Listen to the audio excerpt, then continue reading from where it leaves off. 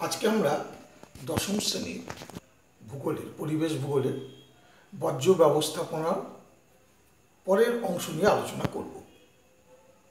দেখো, বর্জ্য ব্যবস্থাপনার যে অংশটা নিয়ে আজকে আমরা আলোচনা করব সেটা পরিবেশের উপর বর্জ্যের প্রভাব।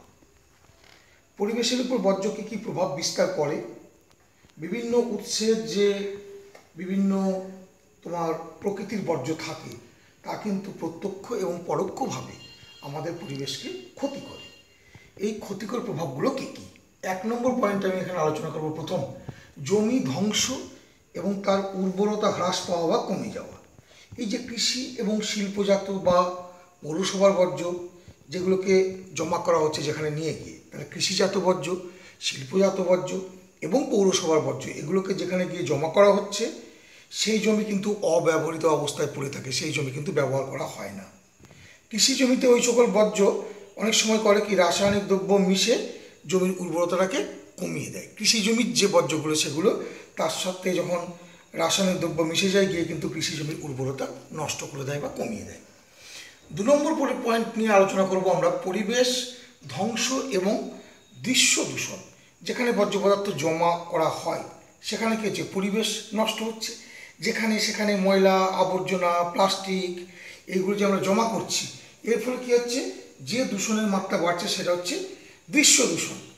ঠিক আছে? যেমন ধরো আমাদের বাড়ির আশেপাশে নানা তোমার চারিদিকে ছড়িয়ে ছিটিয়ে থাকে গৃহস্থালির বাজার হাটের চিকিৎসা ক্ষেত্র বা কঠিন বিভিন্ন কৃষিজ কঠিন বর্জ্য, এইগুলো স্থানীয় পরিবেশের একটা স্বাভাবিক সৌন্দর্যতাকে নষ্ট করছে। যেটা কিন্তু দৃশ্য দূষণ ঘটিয়ে একটা মানসিক অপসাদের সৃষ্টি করে আমাদের মধ্যে।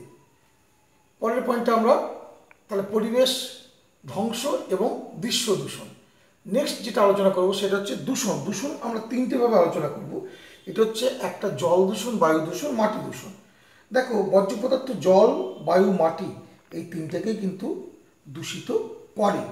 আমি একটা একটা করে যদি ধরি, যেমন জল। জল দূষণ কীরকম হচ্ছে? শহরের নর্দমা, কলকারখানার যে নোংরা, বিষাক্ত জল, সরাসরি নদী বা জলাভূমি বা সমুদ্রে মিশছে। হ্যাঁ মিশে গিয়ে বা উন্মুক্ত আবর্জনা স্তূপে যে জৈব দ্রব্যগুলো পচে যাচ্ছে, তার যে ক্ষতিকর যে রাসায়নিক পদার্থগুলো উৎপন্ন হচ্ছে, সেগুলোও বৃষ্টির জলে ধুয়ে গিয়ে সংলগ্ন নদী নালা এবং জলাশয় গিয়ে যুক্ত হচ্ছে বা যোগ হচ্ছে। এর ফলে কী হচ্ছে?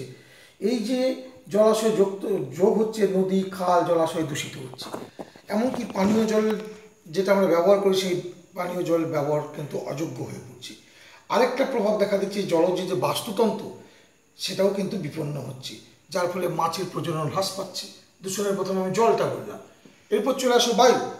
বায়ু দূষণ উন্মুক্ত আবর্জনা স্তূপ, যেগুলো এই, ওই যে উন্মুক্ত আবর্জনা স্তূপ, তার মাঝে মধ্যে পোড়ানো হলেও সেখান থেকে একটা তোমার গন্ধ, কটু গন্ধ হ্যাঁ একটা দুর্গন্ধ বা কটু গন্ধ, নানান গ্যাস উৎপন্ন হচ্ছে, ছাই হ্যাঁ করে বায়ুকে কিন্তু দূষিত করছে বা কলুষিত করছে। আবার জৈব দ্রব্যগুলো পচে গিয়েও অনেক সময় বায়ুকে দুর্গন্ধময় করে। ফলে কী হচ্ছে? কলকারখানা, তাপবিদ্যুৎ কেন্দ্র, যানবাহন তারপর তোমার সরাসরি গ্রিনহাউস গ্যাস যার যানবাহন থেকে বেরোচ্ছে তারপরে ছাই কার্বন কণা, বাষ্প, এগুলো সব কিন্তু বায়ুকে দূষণ করছে এবং যেটা মূল ঘটাচ্ছে বায়ু দূষণ করে, সেটা হচ্ছে তোমার ভূ উষ্ণায়ন বা বিশ্ব উষ্ণায়ন ঘটাচ্ছে। আরেকটা দূষণের মধ্যে আমরা করব মাটি দূষণ। মাটি দূষণ কি? হাসপাতাল গৃহস্থালী কলকারখানা থেকে যে নির্গত যে জৈব অভঙ্গুর বর্জ্যগুলো, এইগুলো অবিয়োজিত অবস্থায় করছে কি না? মাটিতে যোগ হচ্ছে, হয়ে গিয়ে মাটিকে দূষিত করছে। এর ফলে উন্মুক্ত আবর্জনা স্তূপে জৈব দ্রব্যগুলো বিয়োজিত হয়ে ক্ষতিকারক যে রাসায়নিক পদার্থ উৎপন্ন করছে তা সরাসরি মাটিতে মিশে গিয়ে কিন্তু বিভিন্ন মাটির দূষণ ঘটাচ্ছে। এভাবে মাটির স্বাভাবিক ধর্ম উর্বরতা নষ্ট হয়। ঠিক আছে? এবং মাটি কী হয় না? পতীত থেকে যায়, বন্ধ অর্থাৎ কোনো কিছু উৎপন্ন হয় না। দূষণের পর আমরা যেটা আলোচনা করব সেটা হচ্ছে আরেকটা জিনিস এই দূষণ সম্পর্কে বলে রাখব, প্লাস্টিক দূষণ। এই যে পরিত্যক্ত প্লাস্টিক, সেই প্লাস্টিকজাত দ্রব্যগুলো নানা দীর্ঘদিন ধরে অবিকৃত থেকে পোড়ানোর ফলে কটু গন্ধ হয়ে জল, মাটি, বায়ুকে কিন্তু দূষণ করে। প্লাস্টিক তো সহজে মাটির মধ্যে মিশে যায় না, ফলে প্লাস্টিক দূষণও কিন্তু বর্তমানে মানব সভ্যতার একটা বিরাট বিপদ। ঠিক আছে? কারণ এটা তো হচ্ছে কৃত্রিম জৈব যৌগ যা পচনশীল নয়, অপচনশীল। এরপরে চলে আসো, মানব শরীরে যে প্রভাব, যে যার ফলে স্বাস্থ্যের অবনতি ঘটে, সেটা কি? শিল্প কলকারখানা, খনি, তাপবিদ্যুৎ এবং পারমাণবিক বিদ্যুৎ কেন্দ্র থেকে যে নির্গত বর্জ্যগুলো, এইগুলো দীর্ঘকালীন এবং স্বল্পকালীন ভিত্তিতে মানুষের শরীরের মধ্যে প্রবেশ করে বিভিন্ন সমস্যা ও রোগের সৃষ্টি ঘটায়, ঠিক আছে? সেই রোগগুলো যেমন ধরো তোমার ধাতু এবং ধুলো, এই ধুলোগুলো আমাদের মানব শরীরে ঢুকে কিন্তু শ্বাসকষ্ট স্নায়ু রোগ ঘটায়। আবার সীসা, ঠিক আছে? এটা চোখের রোগ ঘটায়, কিডনি ও লিভার মস্তিষ্কের ক্ষতি করে। সীসা, পারদ, পেটের রোগের ক্ষেত্রে খুবই ক্ষতিকারক। ক্রোমিয়াম, ক্যান্সারের মতো দুরারোগ্য রোগ সৃষ্টি করে। আর্সেনিক আর্সেনিক হচ্ছে ত্বকের সমস্যা করে, ফুসফুসের ক্যান্সার, কিডনির ক্ষতি করে।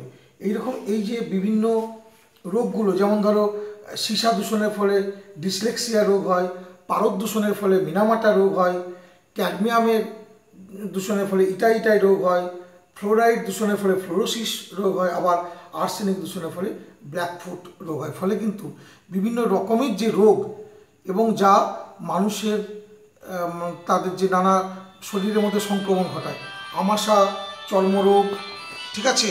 আমাশা চর্মরোগ, এগুলো কিন্তু এগুলো কিন্তু বিভিন্ন, আমাশা চর্মরোগ, এই এই বিভিন্ন রোগগুলো কিন্তু মানুষের শরীরে মধ্যে একটা রোগের সৃষ্টি করে। এবং অনেক রোগ, যেমন ধরো আমাশা, চর্মরোগ, টাইফয়েড যক্ষা জন্ডিস হ্যাঁ? তারপরে তো পেট, ফুসফুস এইসবের রোগও হয়। অর্থাৎ রোগের সৃষ্টি করে যার ফলে স্বাস্থ্যের কিন্তু একটা অবনতি ঘটে। ঠিক আছে? এরপরে আমরা যেটা আলোচনা করব, সেটা আরেকটা পয়েন্ট সেটা হচ্ছে জলাভূমি ধ্বংস। জলাভূমি ধ্বংস দেখো শিল্পক্ষেত্রে যে ক্ষতিকর রাসায়নিক পদার্থ সেগুলো জমে গিয়ে জলাভূমিকে নষ্ট করে, জলজ প্রাণী ধ্বংস হয়, ঠিক আছে? জলাভূমিতে সার, কীটনাশক প্রবেশ করে, জলাভূমি নষ্ট করে। ইউট্রোফিকেশন, যেটা আমরা আগে আলোচনা করেছিলাম, যে জলাশয় আস্তে আস্তে মজে গিয়ে ভরাট হয়ে ইউট্রোফিকেশন হ্যাঁ এর ফলে কী হয়? ইউট্রোফিকেশনের দেখা দেয়, জলাভূমি ধ্বংস হয়। আর জীব বৈচিত্র্য এই যে ধ্বংস হচ্ছে, সর্বশেষ পয়েন্ট যেটা আলোচনা করব জীব বৈচিত্র্য ধ্বংস হচ্ছে। দেখো, বর্জ্য পদার্থের বিভিন্ন সমস্যার কারণে বনাভূমি বনভূমি থেকে শুরু করে জলাভূমি, এর যে জীব বৈচিত্র্য সেই জীব বৈচিত্র্য কিন্তু ধ্বংস হচ্ছে। এর ফলে আমরা এই যে বর্জ্যের বিভিন্ন পরি- পরিবেশের মধ্যে বর্জ্য কিন্তু বিভিন্ন প্রভাবগুলো সম্পর্কে আজকে আলোচনা করলাম। এর পরের দিনে আমরা যেটা আলোচনা করব সেটা হচ্ছে বর্জ্য ব্যবস্থাপনা সম্পর্কে আলোচনা করব এর পরের দিনে।